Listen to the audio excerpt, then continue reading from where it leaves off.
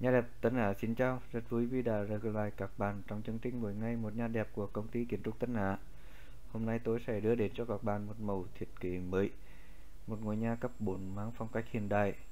Chủ nhân của ngôi nhà là anh Hùng Chỉ Lý, địa chỉ ở xóm 2, Quỳnh diện Quỳnh Lưu, Nghệ An với chi phí đầu tư 1,2 tỷ, kích thước là 13,5 x 17 m. Các bạn hãy vào YouTube xem mẫu thiết kế này được chia sẻ lên trên trang của chúng tôi. Các bạn hãy đăng ký ấn chuông để không bỏ lỡ một video nào nhé các bạn.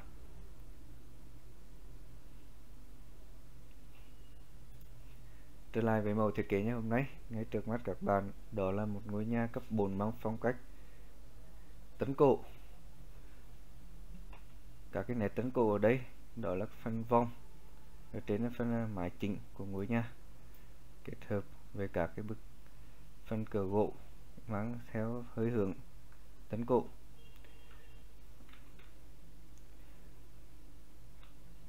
ngay trước mặt tiên, các bạn, đó là một bộ cửa gỗ ngay sảnh chính. Phần cửa gỗ này, chúng ta làm bằng cảnh đặc hai bên chúng ta làm bằng phá kính. Đây là một phần cửa được ờ, rất nhiều các khách hàng của chúng tôi yêu thích và đây là xu hướng của thời hiện đại hôm nay. Về cái cửa này cái điểm đặc biệt của nó, đó chính là phần cảnh đặc và phần hai bên pano kính. Thì những người ở trong có thể nhìn ra phần bên ngoài sân, ngay cả khi không phân cần phải mở hết các cái phần cửa này. Ở phần sảnh chính này thì chúng ta thấy được cái phần mái sảnh được làm đua ra phía trước và các cái phần trụ sảnh cũng như các cái phần đường, các cái phần phân tầng này thì chúng ta ốp hoàn toàn là bằng đá tự nhiên. Như các bạn thấy được, ở trên các cái phần này chúng ta có kẻ các cái phần chỉ, các cái phần chỉ ấm vào. Các cái phần cửa sổ cũng như cửa phụ một bên ngôi nhà chúng ta làm bằng cửa gỗ. Phần vào đây, chúng ta làm cửa gỗ và phần phá nỗ lực kính. Các cái đường phân gạch thẻ được ốp trên cả cái phần cửa sổ, chúng ta thấy được. Như thế này sẽ tăng lên cái tính thẩm mỹ cho phần kiến trúc ở phía bên ngôi nhà. Các cái đường chỉ ấm được làm kéo theo phần chu vi của ngôi nhà. Đây là góc nhìn một bên của ngôi nhà. Các bạn thấy được, một bên ngôi nhà ở đây, chúng ta có một phần hệ gian mát. Ở đây là làm bằng hệ sắt hộp sơn tĩnh điện kết hợp với phần kính. Các cái đường gơ phân tầng chúng ta đều được ốp đá tự nhiên. Các bạn thấy được, ở đây các cái phân mảng sơn tương trắng kết hợp với các phân ngói xanh và phân ốp gạch màu tối như thế này mang đến chúng ta một cái hiệu ứng kiến trúc rất là đẹp. Ở đây chúng ta có các cái phân chân mỏng được ốp cùng bằng đá tự nhiên màu đen. Và phần đá này nó khác hẳn so với các phân gạch ở trên tường.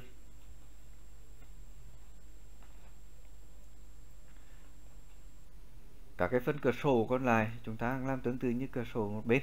Chúng ta ở đây, các bạn thấy được cái phân không gian của kính rất là nhiều. Và các cái phân ổ vật thể cũng tương tự như thế.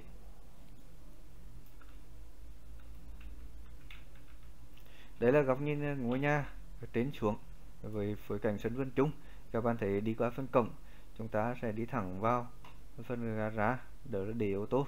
Còn để đi vào được vào ngôi nhà, chúng ta có thể đi qua phân sảnh chính cũng như phần, uh, ờ, phần sảnh phụ ở phía một bên ngôi nhà. Thì các bạn với góc nhìn ở trên này có thể thấy được các cái phần máy được làm rất là đơn giản và nhẹ nhàng. Đặc biệt ở phía mặt bên ngôi nhà chúng ta có thêm một ống khói giả.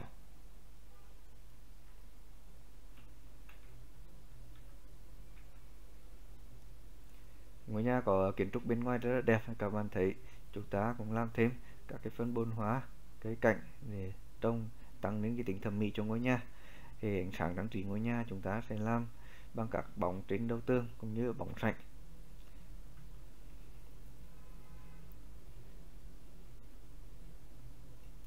và đây là phần bố trí công năng bên trong của ngôi nhà. Ngôi nhà có chiều dài là chiều sâu là 17,9 chứa tính cả sảnh đi cùng với đó về ngang ngôi nhà là 13,9 m là gần 14 m với kích thước này, chúng ta sẽ bố trí phân công năng như sau. Chúng ta có một phòng khách, một, ba phòng ngủ, các cái phân vệ sinh, kết hợp với phòng bếp và phòng thờ. Các bạn thấy được ngôi nhà ở đây có hai sảnh. Đây là phần à, sảnh trước. Đi qua phần sảnh chính, chúng ta sẽ vào phòng khách với diện tích 34 mét vuông. Một phòng khách có kích thước rất là rộng. Và để đi sau, đi dọc theo qua phần phòng khách, chúng ta đi vào phần hành lang.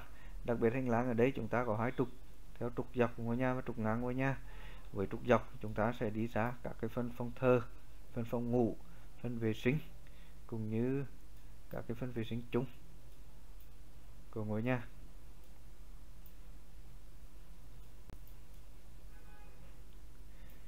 Ở phân hành lang ngang của ngôi nhà, chúng ta sẽ đi vào phân phòng bếp với diện tích 23 mét vuông. Thì với phong kích thước này chúng ta 23 mét vuông chúng ta thừa để bố trí các cái phân nội thất, giống như phần tủ bếp phần tủ lạnh bàn ăn và đặc biệt ở phần phòng bếp này, thì chúng ta có các cái phần sảnh phụ ở phía bên. Thì ở đây, ngay đi qua phần sân cổng, chúng ta sẽ vào đi qua đi chờ về, chúng ta có thể vào phần sảnh phụ để đem thức ăn vào phòng bếp để sơ chế, nấu ăn. Và đặc biệt các cái phòng ngủ ở đây, chúng ta đều có phần vệ sinh khép kín, các bạn thấy được. Phòng ngủ 2 có phòng vệ sinh khép kín ở đây. Phòng ngủ 1 có diện phân khép kín. Tất cả các phòng đều có phân vệ sinh khép kín và các phòng ngủ với diện tích rất lớn các bạn thấy được. Phần phòng thờ chúng ta sẽ bố trí ở một nơi cao ráo và sáng trọng nhất của ngôi nhà. Ở đây cụ thể diện tích phòng thờ là 12,4 mét vuông với kích thước 3,7 và 3,5 mét. Với kích thước này chúng ta bố trí được ban thờ gọn ra ở trong này cũng như các việc bay các cái ban các cái phần mâm cũng thêm vào các cái dịp lễ Tết. Các bạn thấy được các ngôi nhà cấp 4 có kiến trúc rất là bắt mắt và đặc biệt thì chúng ta có các cái phân bố trí công năng hợp lý. Các cái phân tương ở đây, chúng ta làm bằng tương 22 và tương ngắn chúng ta làm bằng tương 10 với cách bố trí này thì các bạn thấy được sẽ lấy sáng lấy khí rất là tốt. Và ngôi nhà cấp 4 thương nhà vườn, chúng ta thấy được các cái cơ sổ cửa đi rất nhiều. Chúng ta sẽ xem lại phần ờ, phối cảnh của ngôi nhà một lần nữa. Các bạn thấy được ngôi nhà có kiến trúc rất đẹp và bắt mắt, nổi bật ở vùng miền Châu. Và tôi sẽ đem đến cho các bạn mẫu nhà này sau khi hoàn thiện. Trên kênh youtube của nhà đẹp Tân Á, những ai quan tâm đến mẫu nhà của chúng tôi hãy nhấc điện thoại gọi điện ngay cho chúng tôi. 0919 642 333 để được tư vấn miễn phí nhé các bạn. Video của tôi xin kết thúc ở đây.